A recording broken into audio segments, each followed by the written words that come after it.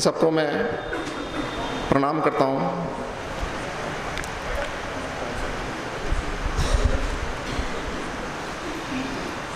भाइयों, फिर से मैं बात बोलना चाहता हूँ वो, जो थोड़े दिन पहले मैंने कहा था। नामर्दों की सरकार है। नामर्दों को नामर्दी बोलते भाई। हाँ? सौ बार बोलेंगे उसको। क्या उससे डरते क्या उससे? हाँ? उससे डरते क्या हम?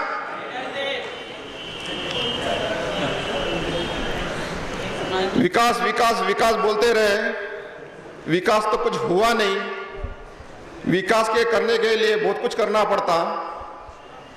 जब विकास नहीं हुआ तो सब ये उल्टे काम चल रहे हैं। देश की भोली भाली जनता को बेवकूफ़ बना के अंग्रेज़ों की जो पॉलिसी है डिवाइड एंड रूल वो अपना रहे हो।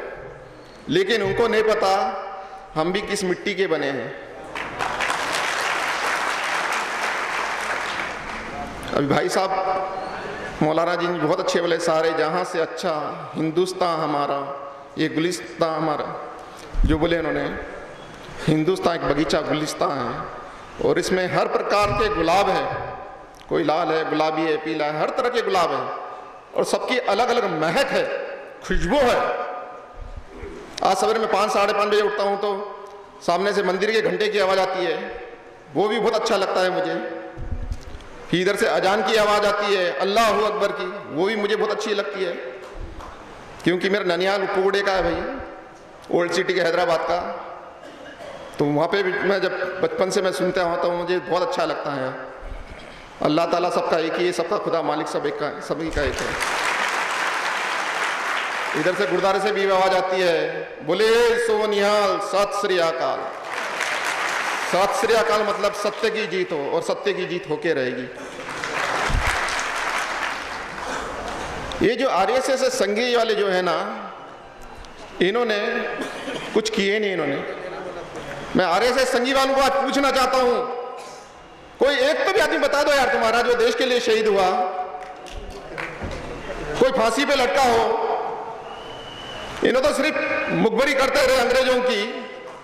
जी हजूरी करते रहे अंग्रेज़ों की।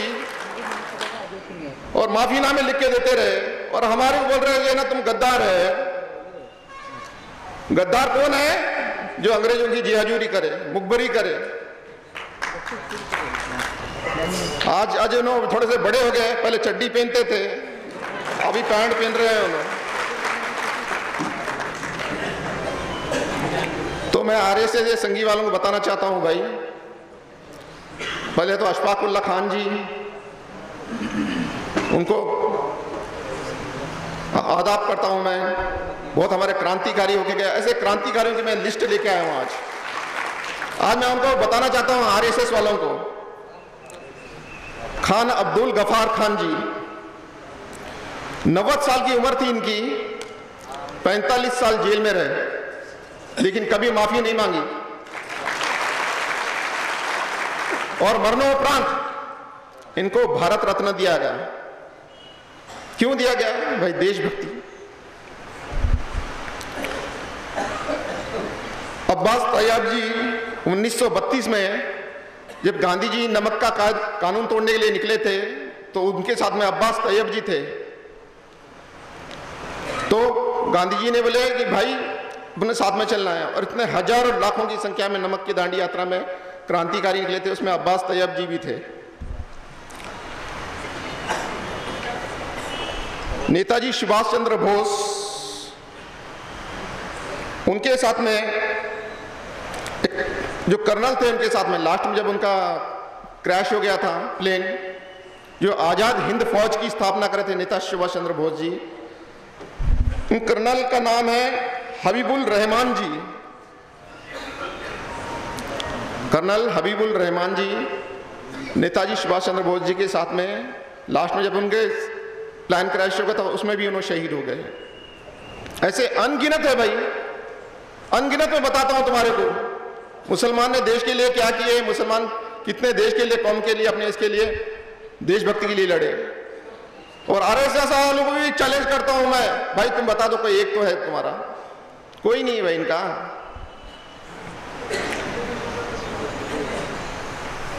तो भाइयों ये गुलिस्ता है। और डॉक्टर बाबा साहब अंबेडकर जी ने जो संविधान दिया वाला है देश को, सब में अच्छा संविधान दिया वाला है। इसमें सभी धर्मों को जीने का हक दिया है। यहाँ तक कि जो खातन बोलते हैं, स्त्री, लेडीज़, उनको भी अपने जीने का हक दिया है। तो देश तभी आगे बढ़ेगा जब सबको मिलके साथ को साथ में लेके चलना पड़ेगा आपको।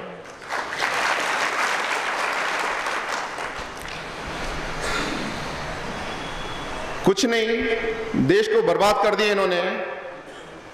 सब चीज़ें बेच दी इन्होंने बी बीएसएनएल देश की जो जो चीज़ें होती है, वो देश की जनता के लोगों की होती है वो।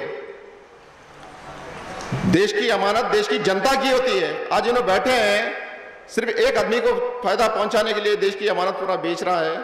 देश का जीडीपी गिर चुका है, महँगाई बढ़ चुकी है, बेरोजगारी बढ़ चुकी है। सबसे ध्यान हटाने के लिए इन्होंने जो डिवाइड एंड रूल का अपना रहे हैं, ये चलने वाला नहीं है। देश में बहुत होशियार लोग बैठे हुए हैं और सबको पता है। और आगे, बिल्कुल, ये गद्दी पे से ऐसी बुरी मौत से गिरेगा, बोल नहीं सकेंगे अपन।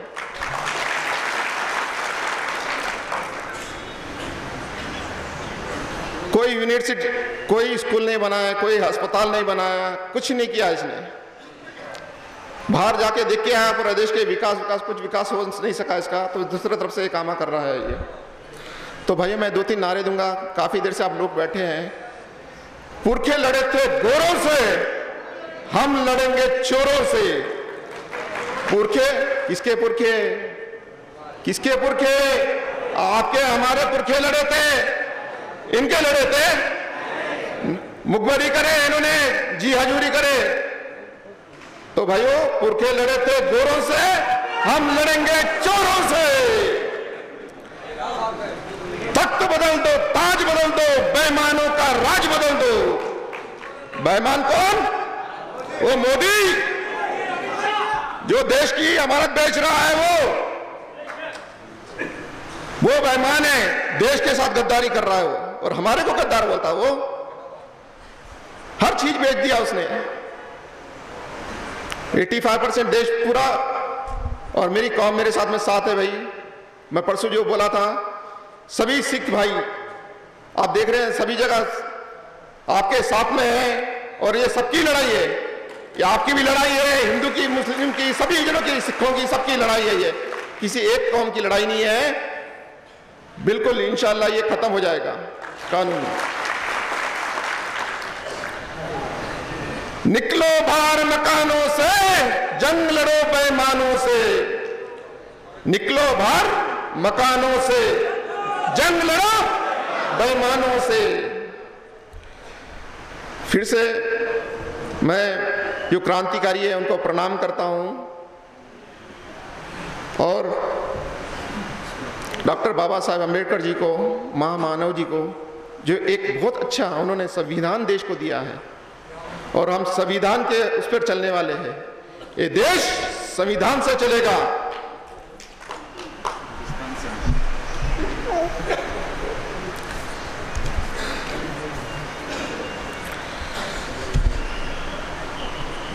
भाइयों, मैं आपको कहना चाहता हूँ कि ये लड़ाई हम जीत के रहेंगे। इंशाल्लाह हम ये लड़ाई जीत के रहेंगे। इनकलाब! इनकलाब!